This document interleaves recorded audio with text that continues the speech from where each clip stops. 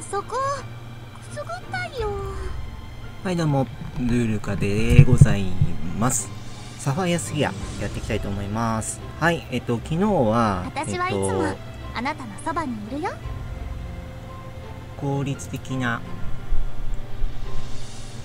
えー育成方法ですかね。育成コンテンツの紹介ですね。まあそちらをやっていったんですけども今日はもう一歩踏み込んだ感じの内容になっていきます。でまず試練なんですけどあ試練じゃねえや。まず正解探索。これなんですけど探索レベルが上がると行けると範囲が増えるんですよ。ここここが今レベル12で解放ってなってるんでこの上のね探索レベルっていうのを12にすれば行けるようになります。でえっと早めに解放したいのがこの元素の輪の、えー廃棄薬品室っていうのと、えー下回回下回転階段ですね。ここは早めにちょっとと出しときたいなってとこですね。ただでさえちょっと体力スタミナがですね枯渇しやすいので、えーこの体力回復薬は、えー、と確保できる環境を、まあ、作りたいですね。体力がねレベルアップしても冒険レベルが上がっても回復しないんでそこはちょっと痛いところですね。で1個回復するのに5分ですかね。うん。なので結構時間かかっちゃうんですよね。最初の初期値の体力は結構高い方だとは思うんですけどまあねそれでもあのレベルが上がってくるともうどんどんどんどんこうスピードアップしていってしまうんで、まあ、僕の場合は今、えーっとこの戦闘力8万578のあたりで、えー体力が枯渇してきたって感じですね。で順位は1596これはまあすすごいことなのかっていうのはちょっと自分ではまだあんまり実感ないんですけどもえっとこれを見ていただければ見ていただくとあのーお伝えできるんですけど、えー一応ね星4の方たちはみんなガチャゲンなんですけども、えー星3と星4っていう割とこう出やすいまあ アルフィンは 最初からいるんですけどあの割と出やすいものなんですね。でこの編成であの8万戦闘力総戦闘力8万で、えー、と1500位っていうことなんで、えーもし星5が出てたらね、あのもっと簡単にいけると思うんですよね。戦闘力の順位っていうのは。まあ順位が全てじゃないですけどね。戦闘力高ければ冒険とかイベントとか進めていくのが楽になるんでまあまずやりたいなってとこですよね。まあこれここまで上げなくてもあのストーリーとか進められるんですけどあと外伝とかね。でもちょっとまあ僕は一気にも上げて後で楽していこうかなっていうふうに考えてるんで、えーこういう形でやってます。でえっと私の力ちゃんと役に単純に立ってる？ここのレベルおぼや。単純にここの ねレベルを上げていくっていうのもそうなんですけどもあとはこの霊装ですねこれを装備して、えー強くすることも、まあ、もちろんできます。で、えーっとこの霊装突破っていうのをすれば、えー上限が解放されます。ただ突破素材は基本的には同じアイテムだったりすると思うんでなかなかね、えー突破できないですよね。だから4星あの最初は星4あたりで、えー突破していくのがいいんじゃないかなと思います。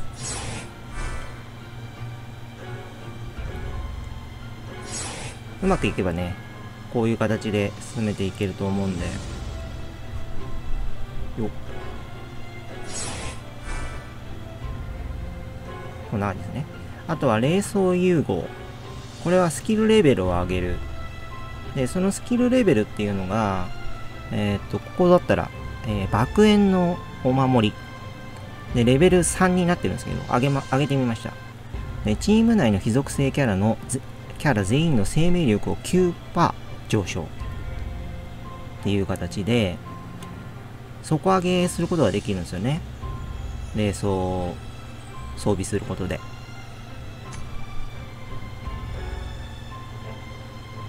よいしょ。今23,905だけど、えー、っと、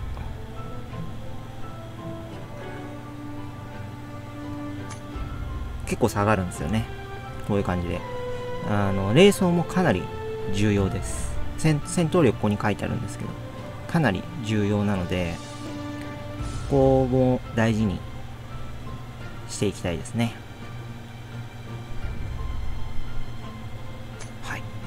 で、えーじゃあ霊装ってどうやって手に入れるの？っていいうと、強敵が出ていますこれ今気をつけてください教えてくれてますよね。新しい強敵が。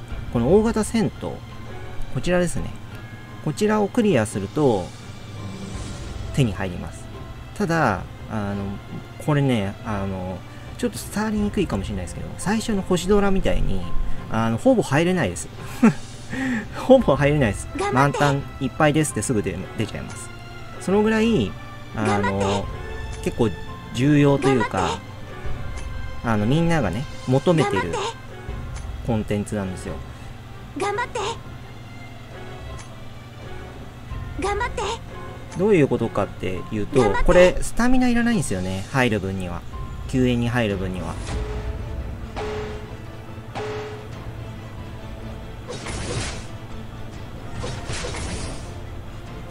自分にも出すことできるんですけど、その場合はスタミナを使うんですね。はいはい。これはおまけだわグリーンイリュージョン思いを届けじゃあこれをやる目的って何かっていうと、あの、実はですね、これ霊装が手に入る。んですよね。で、霊装と、あと霊装の強化素材も出ます。倒しました。戦闘勝利。私もっとしっかりしなきゃこういう感じで、霊装と霊装の強化素材ね。これは、魂霊装の転移消化。これちょっとわかんないな。こういう形でね、出てきます。星3だとまあ、まあレベル低いところでやったんで星3になっちゃうんですけど、この貢献ランキングも多少影響あるかもしれないですね。頑張って。頑張って。頑張ります。頑張って。でもね、あの、負けちゃうともらえないんで、自分、倒し、全体で倒してくれたとしても、自分負けちゃうと、ダメなんで、だから、焦ら魔ず、あの、低いところからやってみた方がいいと思います。で、自分がどのくらいの力用なのかっていうのを確認してまあ、やっていくと。結構ねあの、時間かければ強くなれるっていう感じですね。課金しなくても。ただ、あの、これ無課金コンテンツなんで、やっぱりこう入りたいっていう人がすごい多いんで、あ、4がいっぱい出ましたね。で、このコインがあるんですけど、ハンマーの紋章。これがね、えっと、復元の宝庫で使える。あ、最下位だった。よいしょ。ショップ。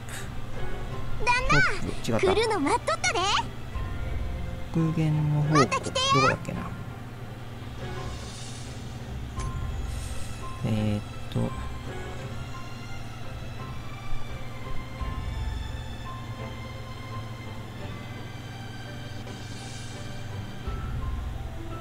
復元の宝庫ってどこだったっけ？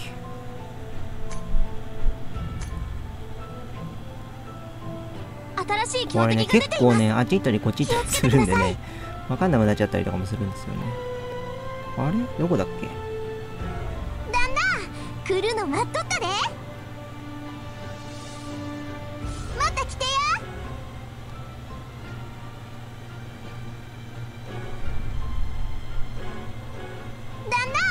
来るの待っとったで。れは装玉交換だもんな。秘密ショップ道具屋。待ってきてや。新しい強敵が出ています。気をつけてください。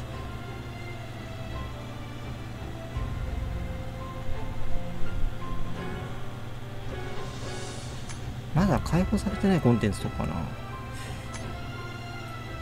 ごめんなさい。こちらの方ちょっと。新しい強敵が出ています。気をつけまてください。たちょっと確認してお伝えします。すいません。新しい強敵が出ています。気をつけてください。でこれえっと今帰ってきてくれたんでちょっと受け取ってみたいと思います。これ経験素材なんですけど。で種族ドロップ修正っていうのがあってあの最適種種族っていうのがいるんですよ。こうやって見ていくとあちょっと待って一回外してみるか。最適種族。この方たちを入れるとあのボーナスが発生するっていう感じですね。でこれやると上の残り回数ここですね。これは減ります。で1日できる回数が限界があるんでうまくあのバランスよくやっていけるといいんじゃないかなと思います。でおすすめは経験値素材。この鍛錬の果実とあとはさっきもお伝えした通りこう体力回復剤ですね。これがね結構時間かかるんで9時間と1日こっちは1日2回ぐらいできるかな。これは1日1回しかできないと思うんで即時完成っていうのがあるんですけどこれすげえ石使うんでやめた方がいいです。おすすめできない。早く20にしたいとこですけどね20までいけばこれもいけるんでねであとはこの魂霊装これがちょっとわかんないな。魂霊装。あ、これだ復元の方向。イベントのところですね。で、えっと、ここでガチャができます。そうだそうだ。それ、なんかどっかで見たことあるなと思ったんですけどね。で、えっと、ここでお伝えできるのは、えっとね、あ、ここにはないか。まあ、まずイベントのね、キャラ出てきます。これガチャからも出てくるんですけどね。ガチャさんのキャラクターが出てくるっていうのが結構美味しいですね。で、この歴戦の証のところか。これ。点検の果実。スキルポイントが1増えるとか、あとこれと似たようなやつで、あの、限界突破が、あ、覚醒か。覚醒ができるやつがあります。被ると、あの、プラス1って勝手に能力が上がってくるんですけど、新しい強敵ができる素材があります。で、えっ、とね、10まで覚醒すると称号がもらえます。まだ俺はもらってないんですけど、そういうお話を教えていただきました。視聴者の方から。はい。でそういう感じでね、結構ね、要素が多いです。だから混乱してしまうと思うんで、あの、またね、あの、ちょっと、まとめておお話しできるようにはしたいなと思うんですけど、今自分が分かってる範囲でちょ私っとお伝えしたいと思って今よ出しております。で、ここも、えーっとね、冷蔵が作れます。この鋳造っていうので、素材が、あ、これか。魂霊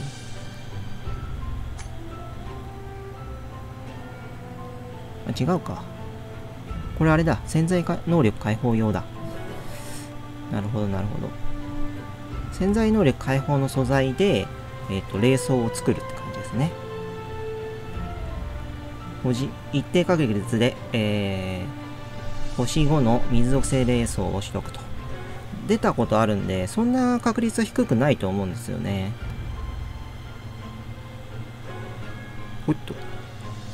で、作るのにこういう感じで時間かかるんで、もしね、余裕が、なんだろう、霊、あのー潜在能力の覚醒をしないんであれば、こうどんどん作っていっていいと思います。で、1回にできるのは2個までだったかなそうですね。うん、2個までなんで。でこの鋳造時間っていうのは、多分これが、レアリティに関わってくるんだと思います。はいまあ、時間が長ければいいっていうわけじゃないと思うんですけど、なんかここら辺はなんかカンコレとかみたいな感じですかね。あのー、アズールレーンとか、えー、アビスホライゾンとか、えー、ドールズストライ、あれなんだっけ？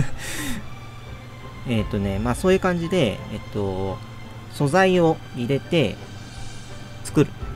で、その時間で、えー、何が出るかっていうのが抽選されるっていう感じですね。はい。で、あと、こういうのもあるんですけど、これがね、8体連れてやるみたいなんですよね。で、俺1個だけやってみたんですけど、で、これドロップがこういう感じで、魂レースの定義消化っていうのがちょっとわかんないんだよな。わかんないな。これできる回数がここにあって、で、パーティーを組んで、みたいな感じですね。ちょっとやってみますか。残り40秒。40秒で倒せと。まあ、こんな感じで。まあ、なんかプチレイドみたいな感じですかね。今はちょっと楽勝でクリアできたんですけど、これ、8体キャラクター入れられるってことは、えー、育てる必要が多分出てくると思うんですよね。そんな甘くないと思うんで、上の方行く行く行くとね。なので、まあ、一つね、エンドコンテンツ的な感じで、自分がどれだけ強くなったかっていうのを確認できる、えー、一つの、えー、指標になるんじゃないかなと思います。で、これもスタミナなし、スタミナじゃないや、これ、残り回数だけできるんで、ただちょっと失敗したことがないんで、失敗した場合のことはわかんないんですけど、体力は、えっと、クエスト失敗した時には、あの消費されなかったんで、もしかしたら消費されないかもしれないですね。はい。っていうところかな。はい。ちょっと、だらだらとお話ししてしまったんですけども、えー、ちょっとまとまりがなかなくてね、申し訳ございません。